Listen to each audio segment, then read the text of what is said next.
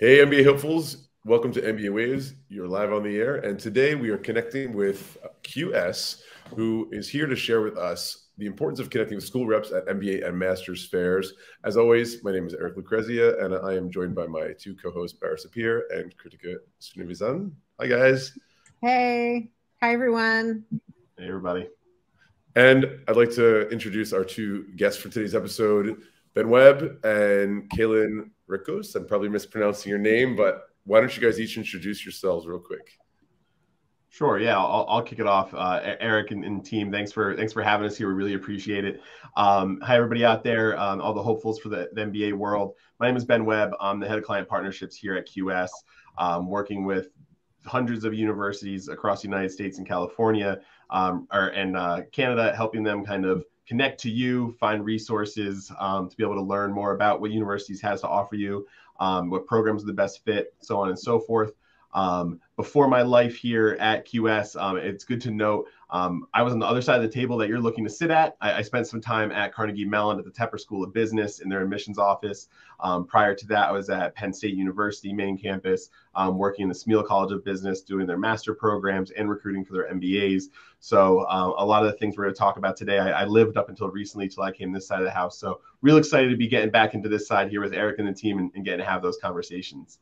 Awesome. Thanks, Ben. And Kaylin, welcome. Hi, everyone. I'm Kaylin Ricos. I'm QS Regional Director for the West Coast, working with universities all throughout the West Coast. Um, thank you so much for joining us today, and thank you for inviting us to come.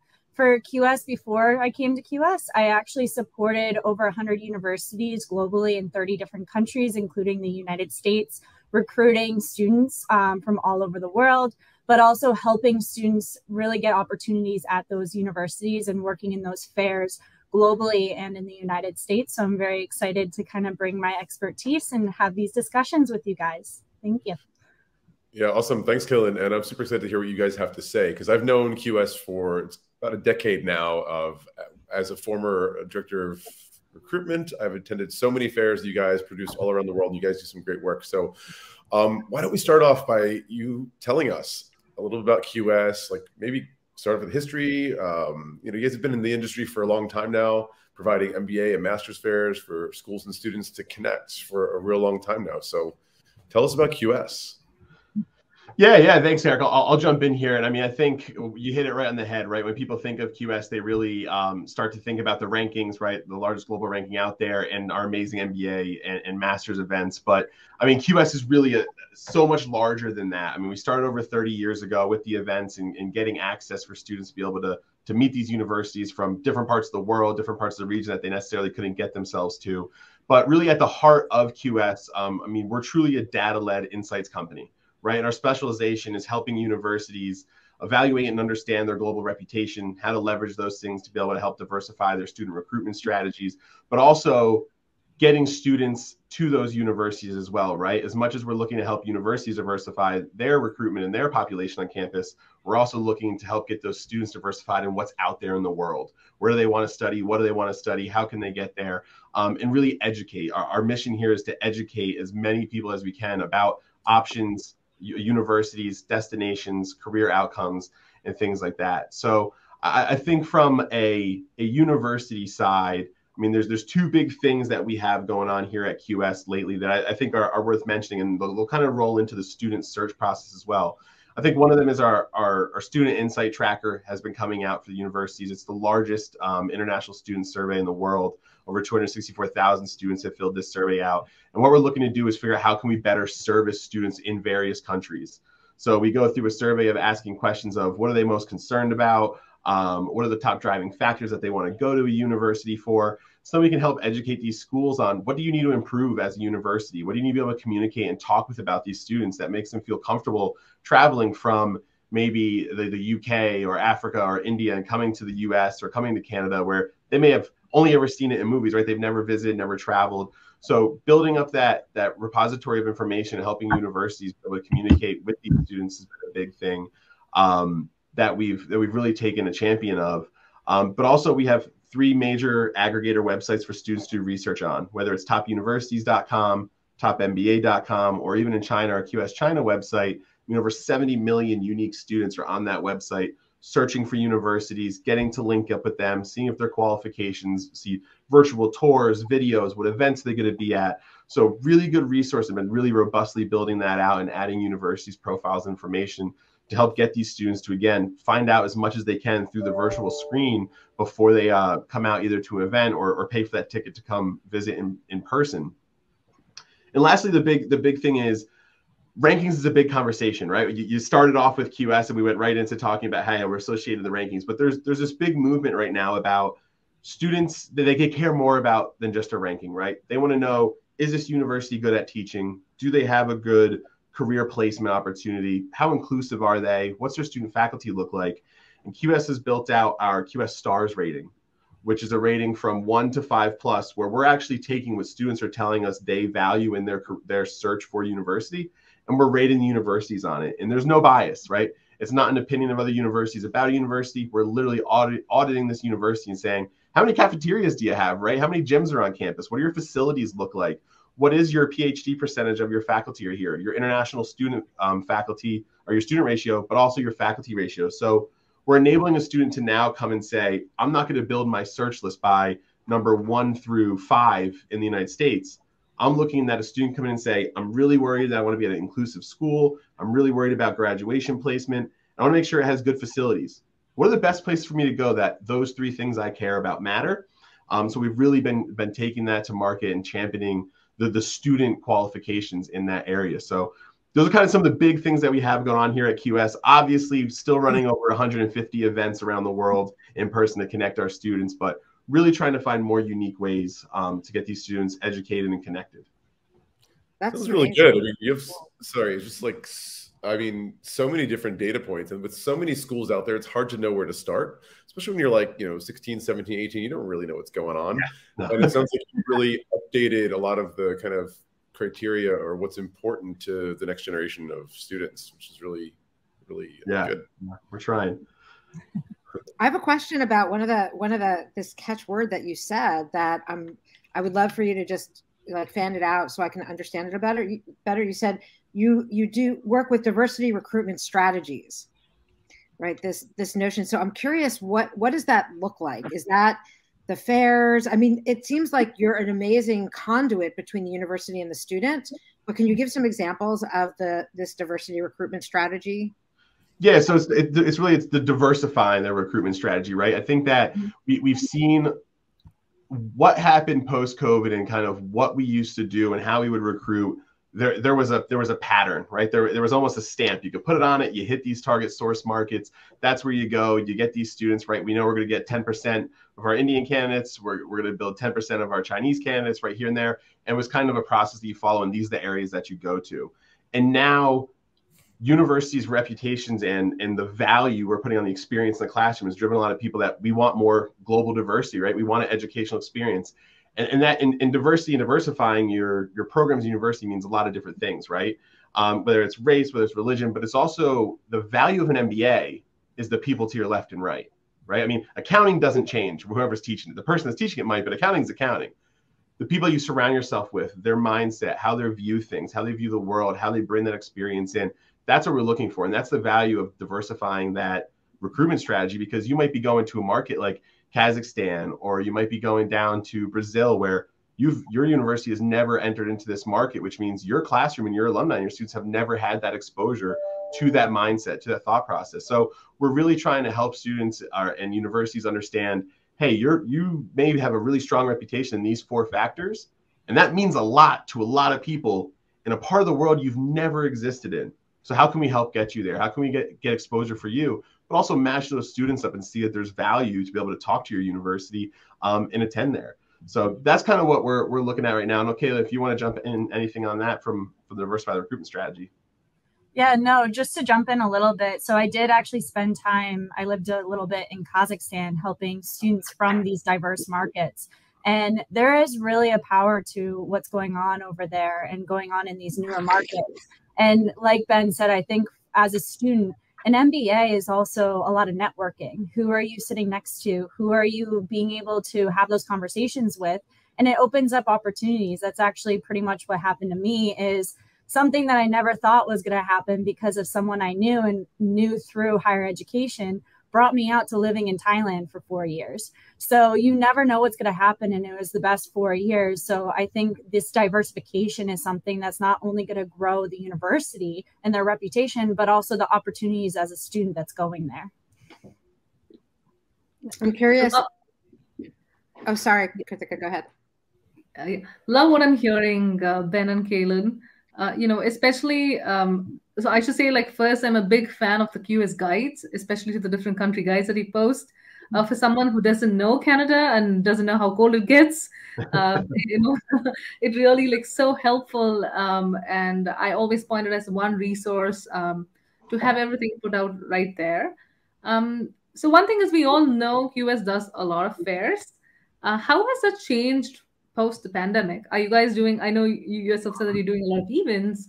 Are you guys looking at still continuing with the virtual events, or it's only the um, the offline events that are happening? Yeah, yeah. I mean, it's it's definitely been a crazy roller coaster, right? I think up until this this last year, we, we thought we were good and we were safe and we were going to get get back in person. Then another variant came out, right? So so things have, have definitely changed as far as the fairs go. And I think the big theme here for QS as we have kind of looked at our, our opportunities has been access, right? Access for students to universities. And we, we went really heavy, like a lot of places did, into the virtual events here during the COVID times. And we really start to see a change in, in students' behavior and university behavior, right? So um, many things have changed. We're, the virtual really started to kind of slow down here in the, in the past 12 to 18 months. Um, and a return to in-person has has really come back with a vengeance and really strong. But what that's done is really start to split the market too. So from a university standpoint, right, we statistically are starting to see that students who are attending the virtual fairs are more a year plus out they're kind of maybe they're they're a, a, junior in college or mechanical engineer and they're like i do not want to do cad for the rest of my life right? I, I want to get into that consulting thing they got going over there. How do i get into tech consulting right? A mim program a one year early career mba might be the route i want to go. So we're starting to see those searchers explore what can i do post degree and we're seeing a lot of that searching being done virtually because they can get on a list see 60 universities through a virtual event. They're on the mailing list right now. Um, and they're getting to gather that information um, where now we're starting to see those in-person events are they're looking a year or less, potentially three months within the application, applying for round two, round three, the next rounds. So we've really started to see kind of a shift in in students of how am I acquiring information now that these virtual events are there versus maybe going to an info session, so on and so forth. So things have definitely been um, been different for us as far as we kind of come out of the pandemic and on what we deliver and how we deliver it. But we've seen a very strong demand of getting back to in person because you can't beat shaking a person's hand, looking them in the face, right, and, and showing that passion that you have for your university, and vice versa. You as a student coming expertly prepared and passionate, and you know the mascot, and you know the campus, and I want to eat at this as this part of the the the campus is my visit, right? That's that's the value. That's the factor that you sometimes can't really portray virtually, and that's what we look for when we go to those fairs, right? I mean that that person that I'm going to remember when I when I go to that fair and there's a couple hundred people in there I'm remember the person that came with that passion, that excitement. So we're really kind of trying to find that balance because the one thing we don't want to stop is the accessibility for students to be able to get to these universities virtually, but also knowing that there is that that still fill that we need to get some really quality information to students in a, in a very short amount of time to find out if this is the right place I want to study. So we're really balancing um, the types of events that we're hosting. Um, there's also been some changes about how we're doing and running those events. So yeah. Have you noticed yet if the numbers have changed with all the layoffs in the tech in the tech world? Have you noticed anything? Yeah, the tech that that's been crazy. Uh, I don't have any hard data on it. I mean, obviously there's there's been a, a ton of of layoffs happening in there. Um, we our West Coast swing happened right right when those were going on, so we saw some of the increase in the push. Mm-hmm. Um, a lot. I don't know where a lot of those people went. I'm assuming they probably took a couple of day, days off to reset their brain. Totally. But um, we're anticipating them to be scooped up pretty fast. Um, most that were probably looking are already in the funnels for most, but I think we'll definitely see a little wave come in before they before they all get picked back up.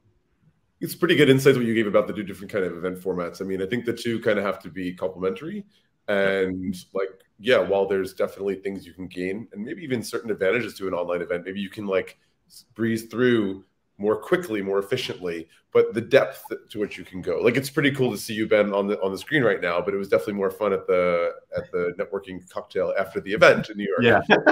like last month.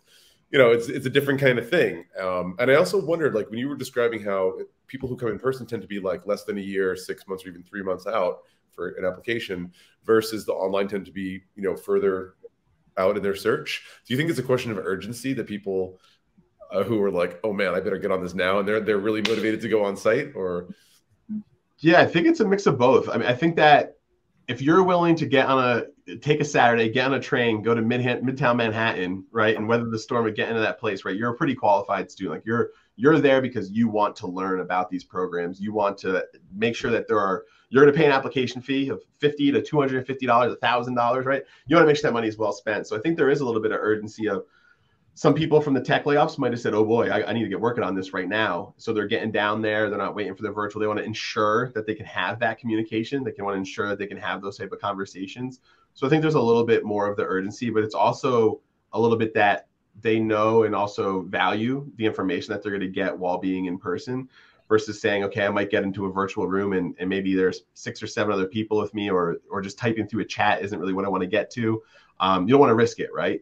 Um, so I think that it, it, also shows a little bit more to the universities that, hey, I'm, I'm here. I took the time out of my day, my life to come down here and chat with you.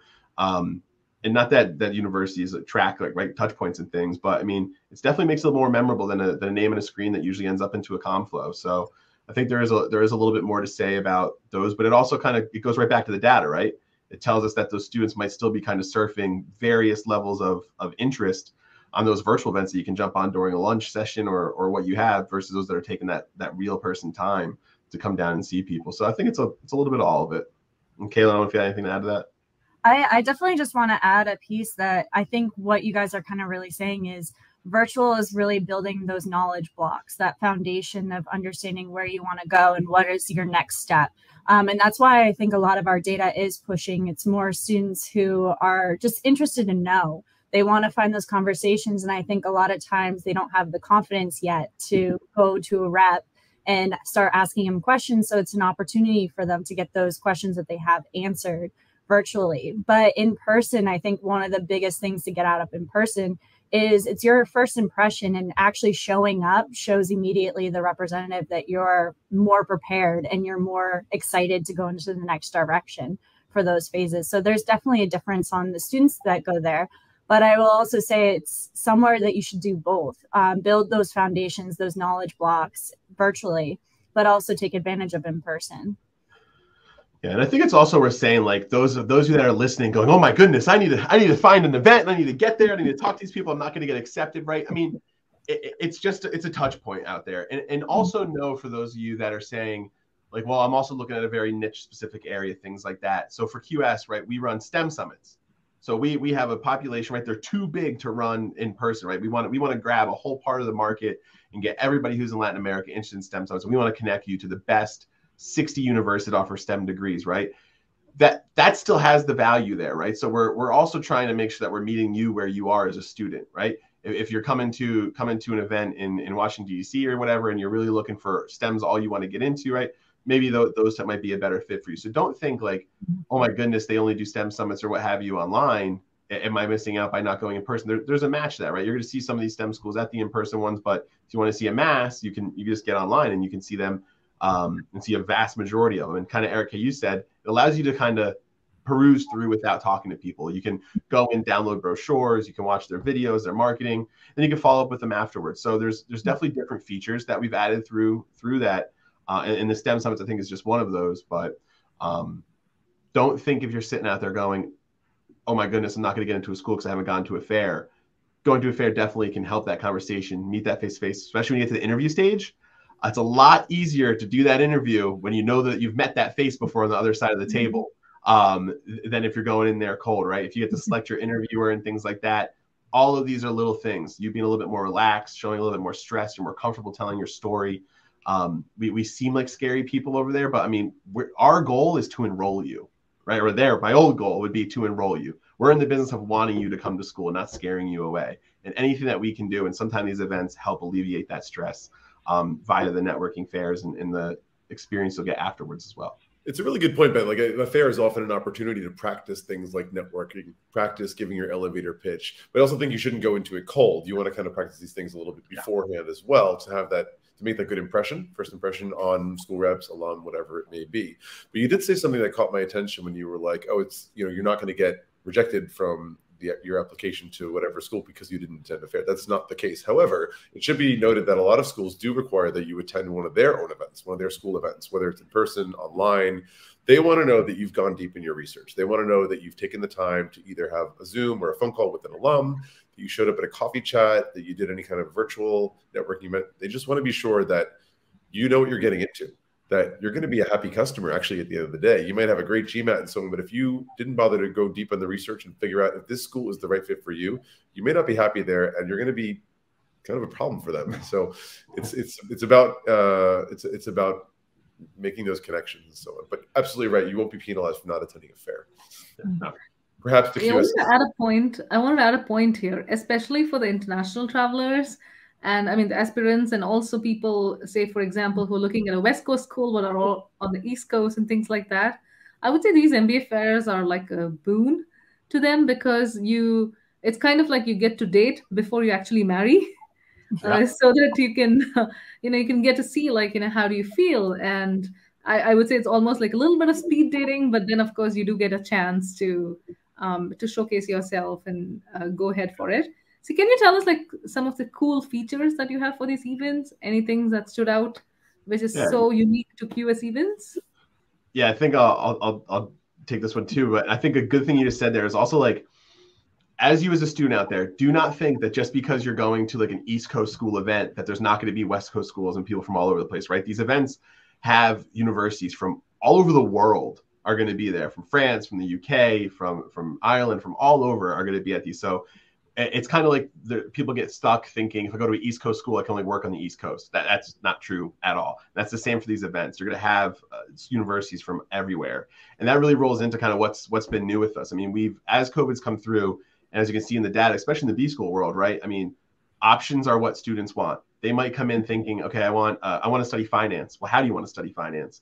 Where it used to be grad school events were broken out to only grad programs for master programs and MBAs were separate. Where now for QS, we, we look to, again, increase that access for students um, by combining that. So now a student can come to a QS fair, they can walk in and you're going to see everybody. You're going to see financial engineering, financial accounting degrees, finance MBA concentrations.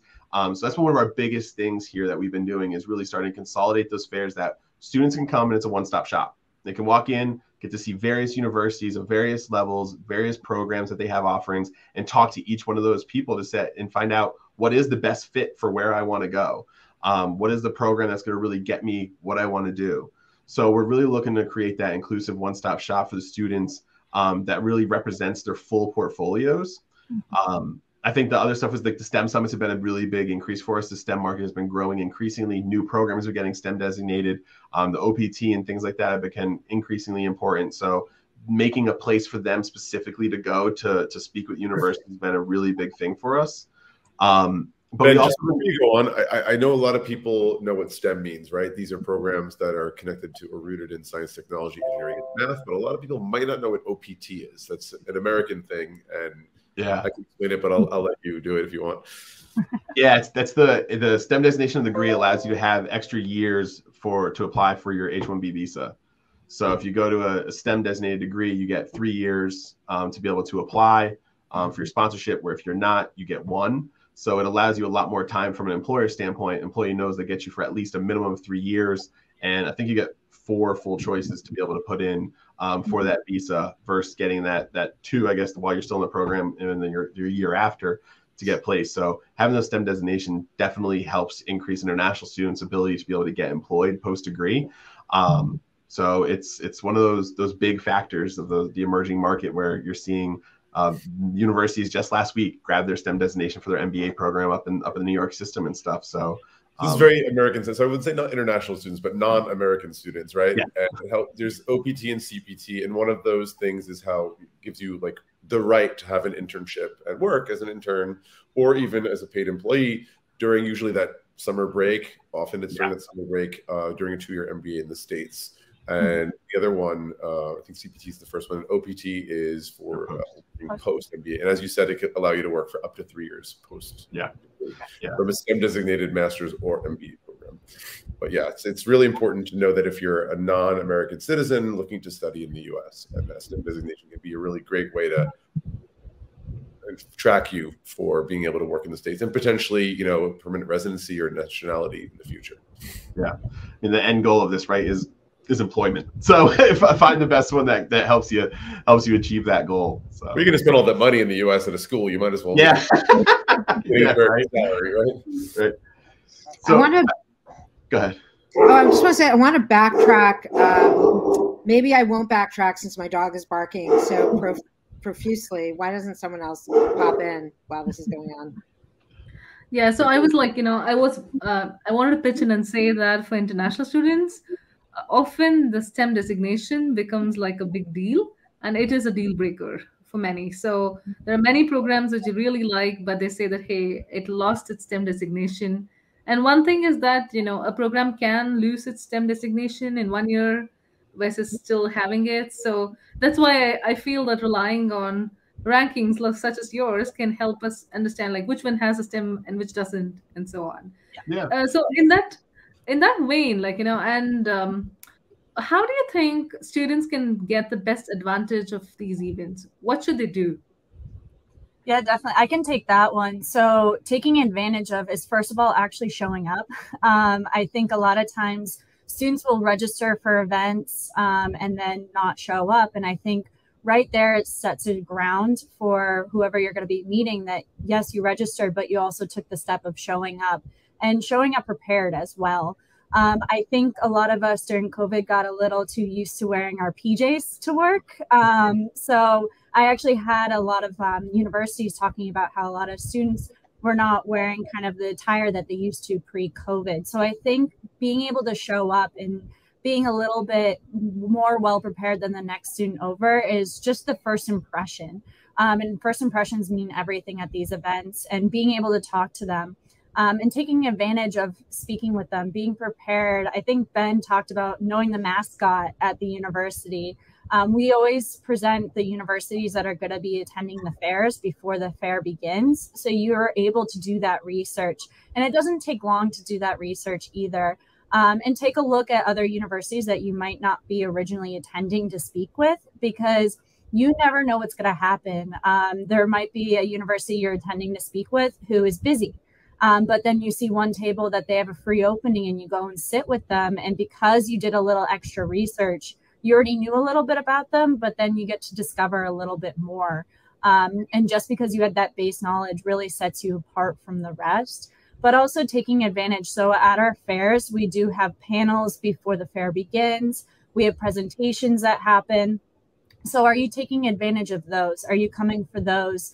Um, because a lot of the panels will have the directors and deans of those institutions actually participating in the panels, but they don't stay for the fair. So you get an opportunity to speak with them after the panel that you may not be able to speak with them at the fair. So I think it's a really great advantage to have there and have the confidence and the key to stand up and have those conversations. Um, and then we do have headshots. So take your headshot, take advantage of those. So it really is being well prepared and taking advantage of the opportunity.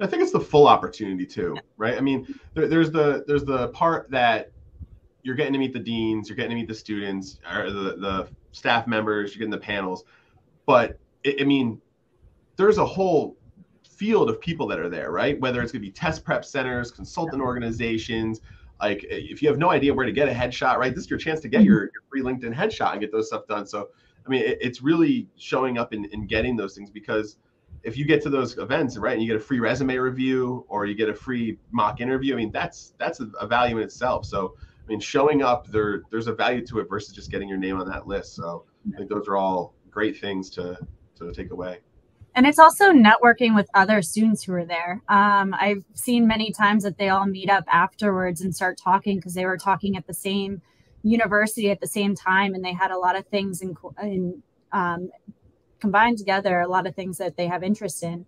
And so, getting to meet those other students, it kind of makes you a little bit more calm, I think, when you're making a, de- a decision like this of what university to go to. It also reminds me, like you were talking about, if you're stressed out and you're mm-hmm. going to these events, having those secondary or tertiary programs that you've done a little bit of research on. There's this thing called exposure therapy. And if you expose yourself to an experience again and again, it just takes away that intensity and that that um, that anxiety. So it really gives you an opportunity not just to learn something new about the schools, but also learn about yourself and just assuage some of the, the jitters that are there because interviewing and networking is such a big part of the business school experience. And so having that with peers as well as colleagues, as well as the schools, as well as QS folks, like just gives you a variety of people in the ecosystem to to practice with, right? 100%. I mean, just like an MBA program is not just you know learning about finance and doing spreadsheets. It's very much about the people that you're studying with. And so are these fairs, the way to get the most out of them is to engage with the people there. And you know, there's a lot of people who might be nervous. There's introverts. There's people who just you know, networking and, and someone is not comfortable for them. But this is a trainable skill. That's the good news. And these fairs are a perfect opportunity opportunity to do that. Um, like one of you were saying, like a lot of times people connect with other you know candidates at these events because you're going through the same thing. Could be a study buddy for the GMAT. Um, who knows? You might be future classmates together, and even if you go to different schools, you're both going to be out there, you know, graduated MBAs, hopefully working in, you know, maybe even at the same company. So networking is always um, a powerful thing. I wanted to um, just talk about the fact that what I see a lot of times when I'm at these fairs, whether they're in person or online, you know, in person, sometimes you see the the candidate who's a little bit shy to talk with people and just kind of goes around trick or treating, grabbing brochures. uh, or online even more so, where they just like they don't engage at all. There's not even a hello. They just like download the brochure from the virtual booth. There's no engagement, and this has become like a trend that I feel could be problematic. And I wonder if you if you guys can comment on that. Yeah, I mean, so I think COVID introverted a lot of people. I think we got used to not wanting to talk to anybody.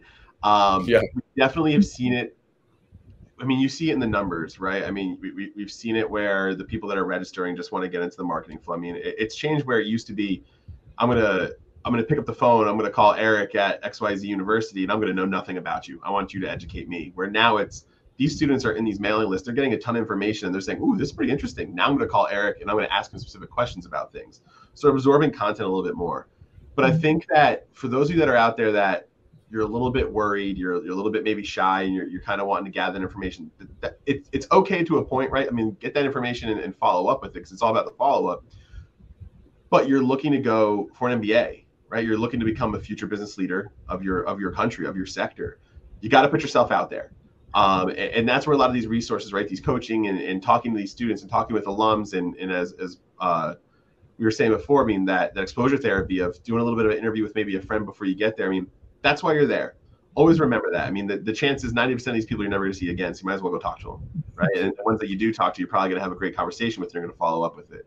So to, to, those of you that are out there that might be a little bit worried of, of, well, what if I say the wrong thing, right? I mean, there's no dumb questions. I mean, that's literally why you're there is to ask all the questions you can so you can be better informed on where to go because you might be able to get a chance to talk to a top five school and it's amazing and they have a great brand and this and that, but you might find out, well, it's actually not the best place for me to go to school based off what I want to study and where I want to go. So don't don't be afraid as you're you're meandering on there. I mean, take these opportunities. That's what universities are looking for. That's what counselors are looking for.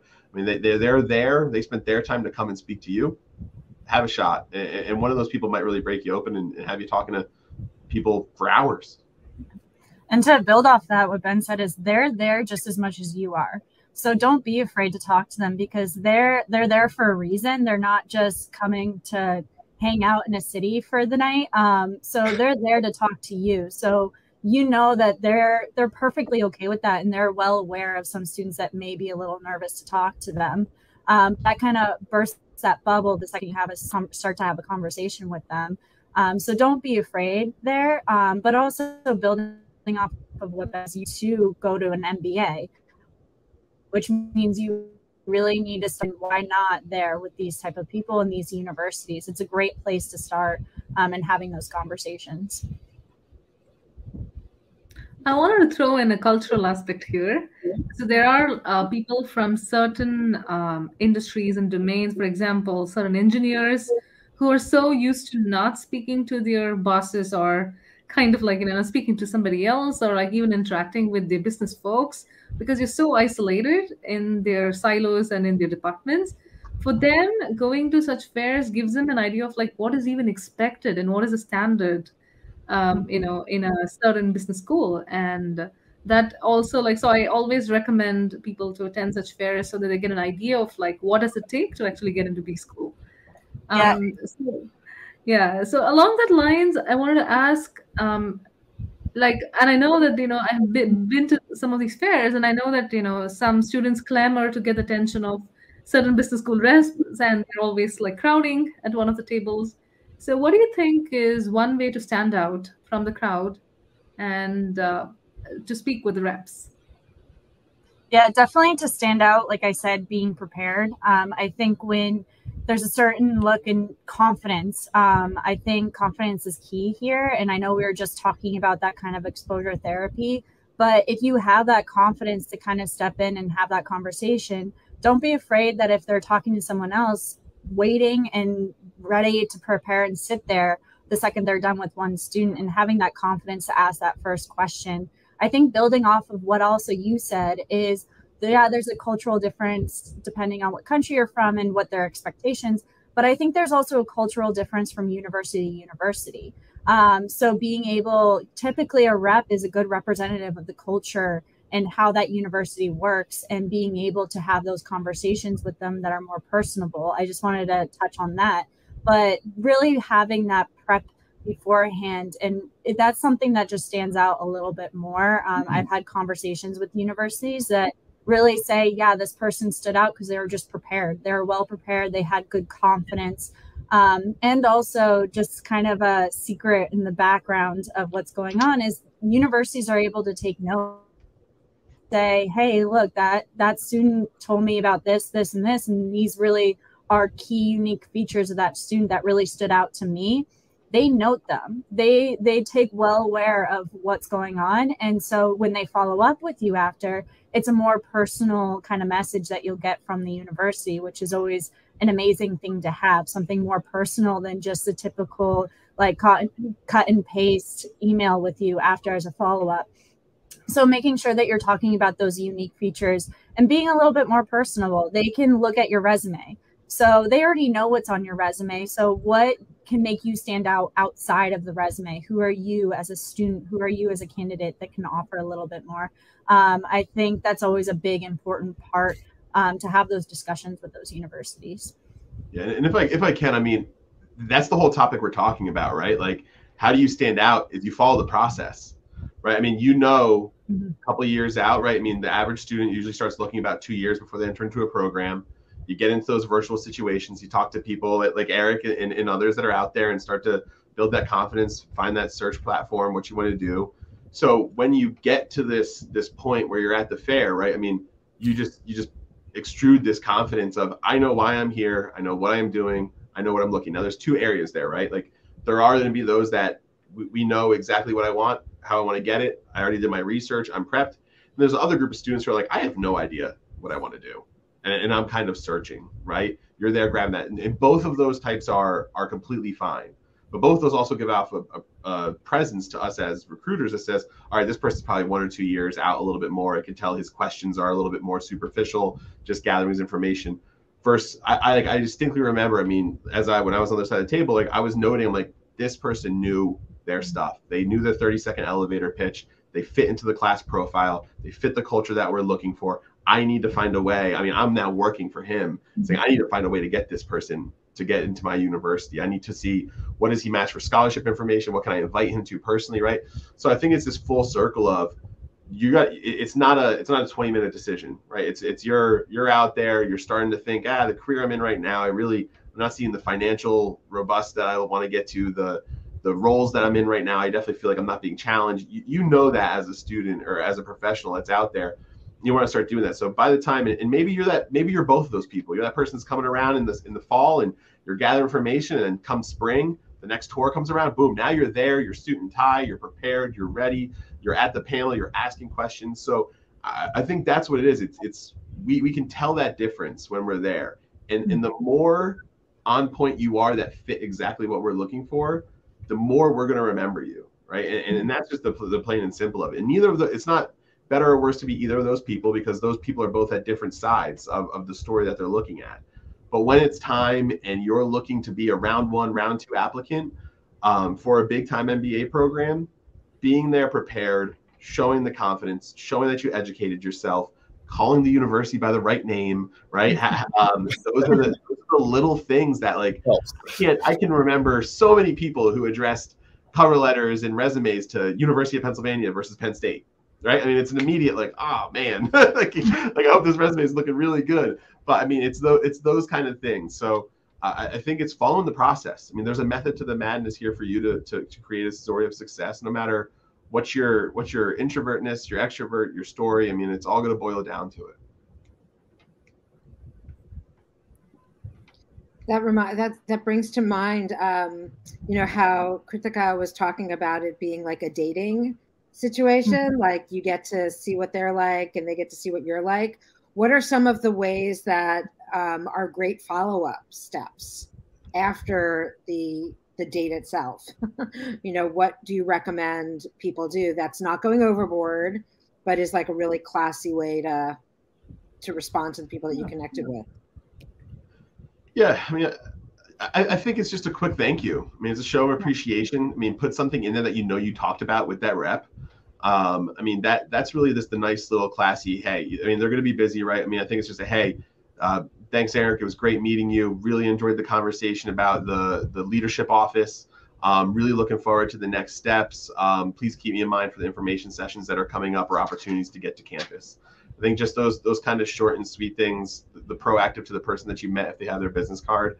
Um, but I mean, the next step really is, I mean, working yourself down that funnel, right? After you met them at the fair, you're intrigued, get to campus, get out, get in person. I mean, nothing beats living the shoes that you're about to be in.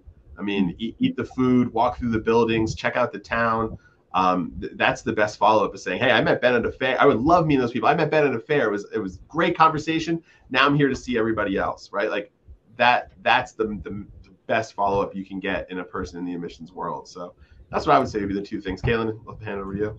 Yeah, no, I definitely agree with the making a little quick personal thank you. Um, I think you just have to switch and be like, in my shoes, what would I want? Do you want a university giving a very personal follow up email to me? Yeah, it just makes it that much better that you were paying attention, you were listening to what they had to say at the fair. Um, so it's definitely good to know when you just had a conversation what are things that we can follow up and talk about. Um, but just doing something subtle like that and getting onto campus but also kind of then following the university on their social media platforms, seeing what they're doing individually for fairs. Yeah, you just met them at one fair, but maybe you can meet someone else that is a different representative at a different fair, but going to see what specific events they're having because a lot of universities then have events on their own campuses so then seek out other opportunities to do there because um, they are well aware if, if you go to multiple events they see the registration they see your name they see that you're being consistent in fi- finding that information, partaking in webinars. Um, just being active on that front is definitely something I would recommend.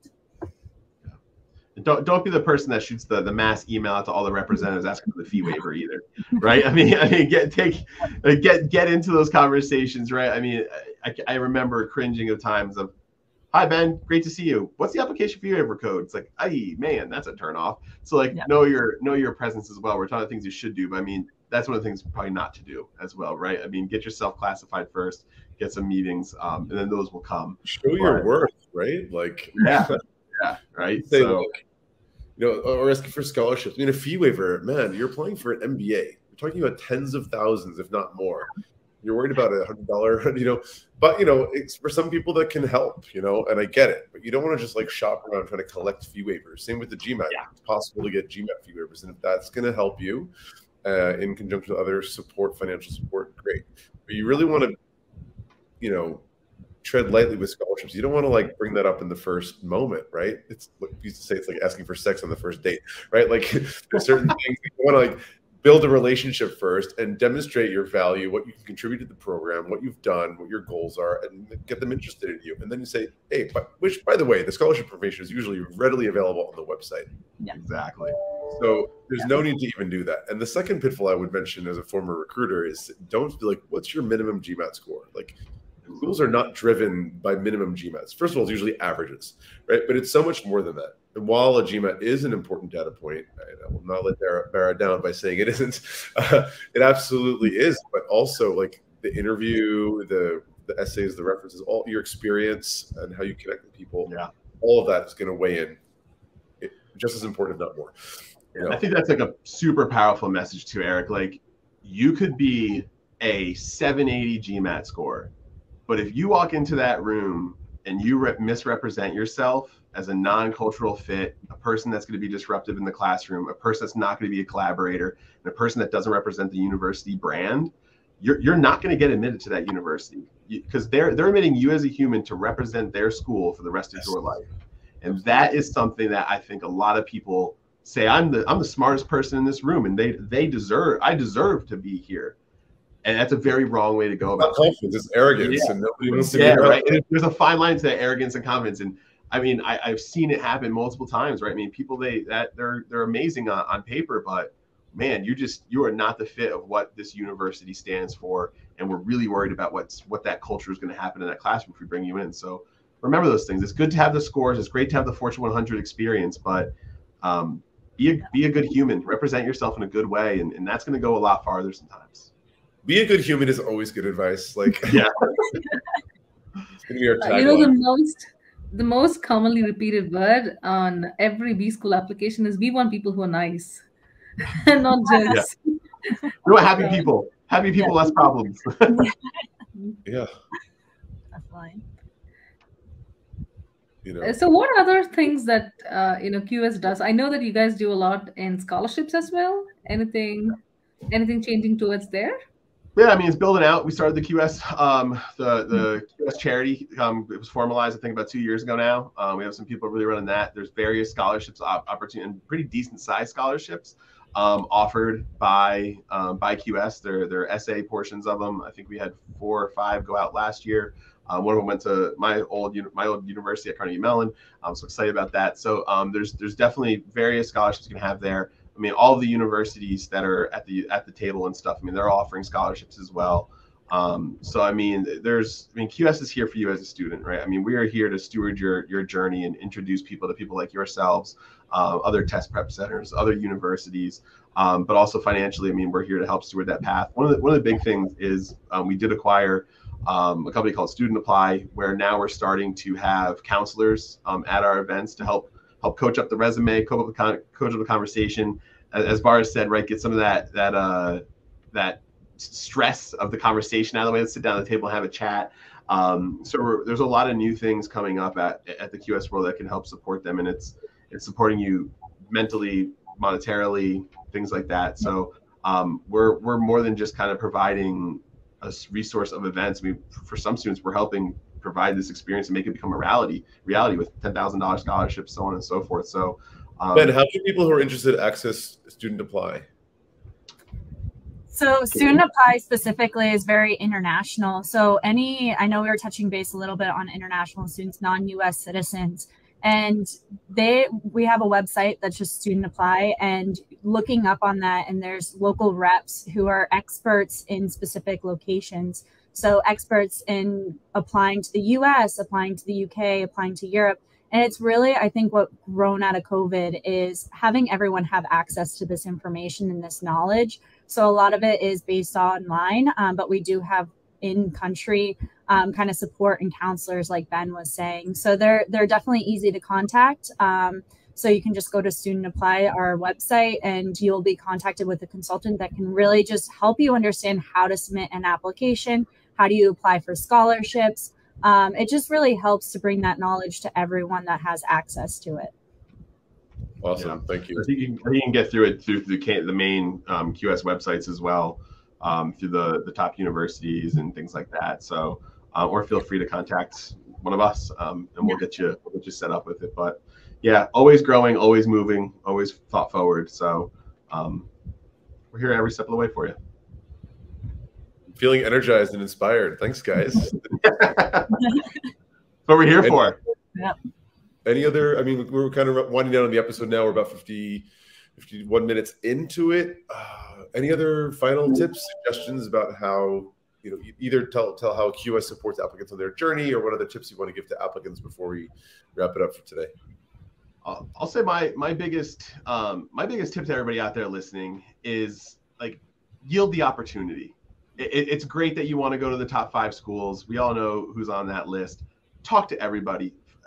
The rankings are a great thing and they're the worst thing. I mean, find the university that fits you best. Find the university that's going to get you to that happy job that you wake up and you're happy to go to work. You enjoy where you are in the world. It can get you to the part of the country in the world that you want to be into and yield that opportunity. I mean, get in there and, and talk to everybody. Get to those people that you want to, but th- those mid-sized universities, maybe something you never heard of. Uh, maybe it's it's in Italy and, and you're, you're from Texas and never even left the country. Like talk to them. You may have an amazing adventure ahead of you, an amazing experience. So, but that's what we said before. What Kaylin was saying, right? There, we are here as representatives of the university, looking to talk to as many. We don't want to sit there and play on our iPhone, right? We want to be able to talk to you. So yield those opportunities to talk to those um, admissions representatives, ask your questions, have your conversations. Um, you might end up in a path and a place that you you never expected and never thought of, and it could all be used uh, given to that two minute conversation while you're standing in line. Um, so that's my biggest advice for you as for you as students, and obviously, come to the QS events. I'll add one piece of event uh, advice on that: is no time is a perfect time. I think that's a very key for these events is when you register, show up because yeah, maybe you're saying, oh, maybe I'll do it next season, maybe I'll do it next fair. Um, no time is perfect. So just being able to jump in and start having those conversations. Um, I think we all know that the older you get, the quicker the years go. Um, so definitely taking right now, taking that time, making that leap is definitely very important. Um, and again, no time is perfect. I mean, that's just great life advice and how to not procrastinate, uh, procrastinate and make the most out of this thing called life. Not getting all philosophical. Um, guys from QS, both Kaylin and Ben, so cool to chat with you tonight. Thank you so much. Um, thank you, Bara and Krithika, and for everyone in the audience who joined us tonight. Uh, it's going to wrap it up for today, but be sure to join us next week on MBA Waves, where we'll be jumping into another exciting topic all about business and education. See you next week. Bye, everyone. Thank you.